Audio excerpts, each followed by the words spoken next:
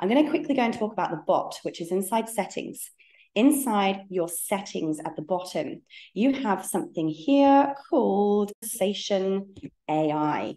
This, my dudes, is one of the sexiest new features that we have added to Tekmatix recently. This baby here will learn your entire website or any URL that you give it, and it will learn how to reply to every incoming inquiry you receive.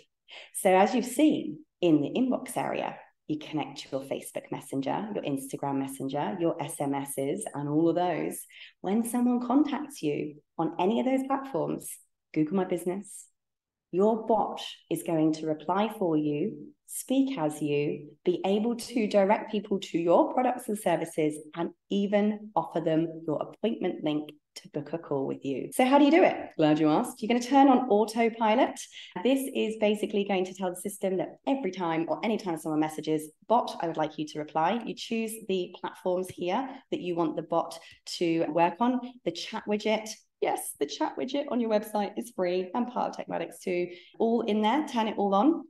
Next, you might want to give it a business name. Then you're going to want to say how long after someone sent a message should the bot wait before it replies so it doesn't look too botty. I normally just wait four or five seconds for mine. How many messages do you want the bot to send before the bot stops and asks a person to get involved? and then you have what's called the bot training. All you have to do here is put in the URL of your website, your help guides, your blog articles, or any other URL you want it to learn.